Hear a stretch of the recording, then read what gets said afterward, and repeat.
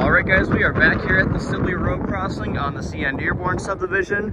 Uh, and as you can see, they have uh, made some progress here. We have two new median signals installed. Uh, looks like we have some Siemens e-bells with Siemens gate mechanisms, you know, your typical modern setup. Um, obviously, they're not done yet. Uh, the lights are still turned, you know, towards each other and the gates aren't up yet. Um, also, the wind guards are facing the other way. Um, but yeah, they're, those are up now. We also have a new relay case over here. Um, just says, you know, Sibley Road, Dearborn sub, the uh, milepost, and the dot number.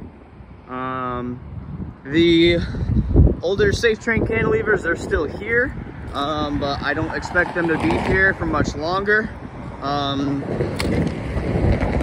almost tripped. Uh, there are some, as you can see, we got a wire, big wire coming out of this base now. I'm assuming this is gonna be for a new cantilever. So if you wanna get these, I'd get out here as soon as you can before they're gone uh, to see them action one more time. Um, and the old relay case, it's still over there. And as you can see, the power off light is still on. So I'm assuming that relay case is still running the crossing and giving it power. Uh, but soon enough, it'll switch over to this one and this one will be uh, taken out. So yeah, I'm I'm excited to see uh, what they do here. Um, obviously, the big thing is those. I'm assuming we're gonna have like a quad gate setup now.